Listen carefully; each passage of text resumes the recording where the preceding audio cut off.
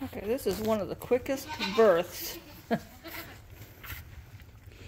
but what's funny is that Falina, the black goat, um, it's her baby, but her mother, Bambi, has helped the whole time. She has midwifed from the very minute that Bambi went into labor. She's been washing Bambi's face. She's helping wash the baby. She helped get the baby out this is a first for me. I mean, I've seen the mamas be real attentive, but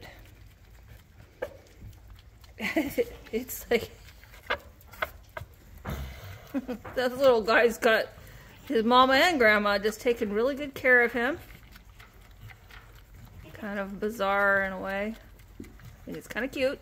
You can't really see the Bambi's kind of a buff colored goat, uh, buckskin. And Falina is a beautiful black Swiss mark goat um, with no white on her sides.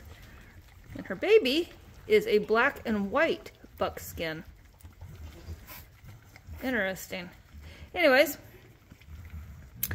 this is baby number eight. Right now our running total is five girls, three boys.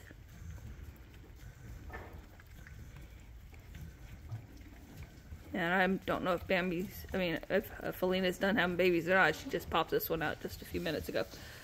All right, well, please like, subscribe, and we'll let you know when the next baby's born.